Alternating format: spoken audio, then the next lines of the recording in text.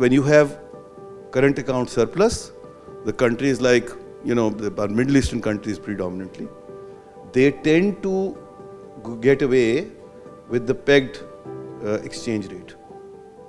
On the other hand, uh, the countries with a deficit on current account, they tend to go towards managed float. The ideal example is India and Bangladesh for that matter. If you look at countries like China and Vietnam, they actually developed the exportable surplus by keeping their currencies undervalued for the longest period of time. And here we come, by the way, in the whole equation, जहाँ हमने अपनी currency को overvalued रखा है it is not just the currency which is the driving force towards creating an exportable surplus.